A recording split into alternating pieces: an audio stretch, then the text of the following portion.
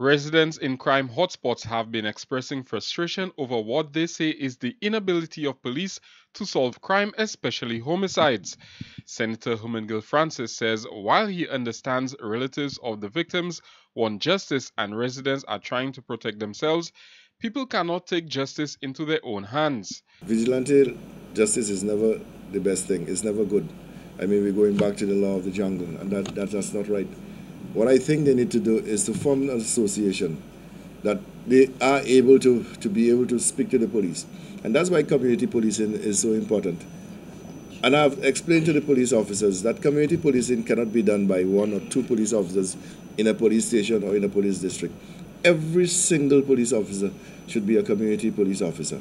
So he understands everything. So you, the things that we used to do before, go and do country patrol, go and visit people at their homes and so on. So person got very familiar with you and they knew you by your name. So if something would happen, they would say, well, let me call Hermangild. And they would call me and I would come. That is what we must go back to. In 2018, a number of police officers were called from vacation and were deployed across the city in an effort to bring escalating crime under control.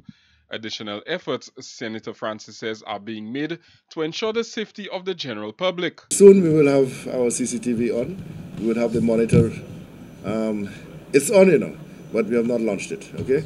Um, and then you would need persons to monitor that at, at the control room and so on. And our intention is not to have police officers per se.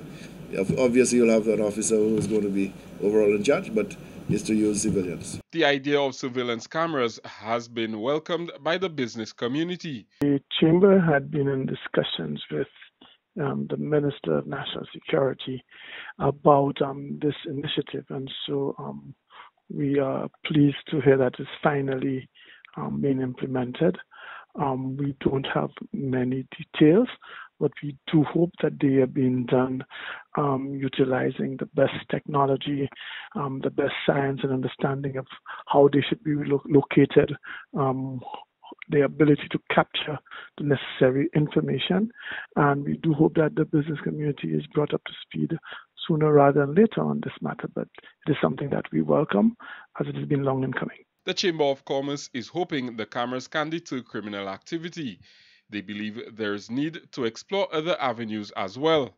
For the DBS News World, I am Sheffield Gillard.